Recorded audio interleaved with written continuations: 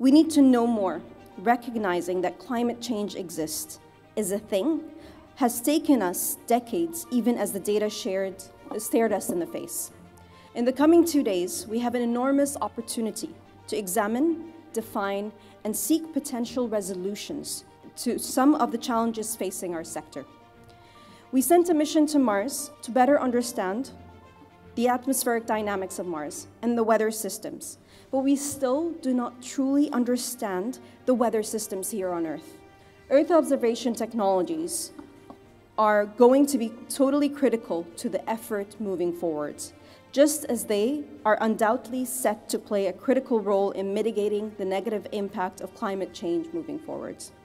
This is where we believe the Abu Dhabi Space Debate, or as we've come to call it as a team, ADSD, has a key and valuable contribution to make.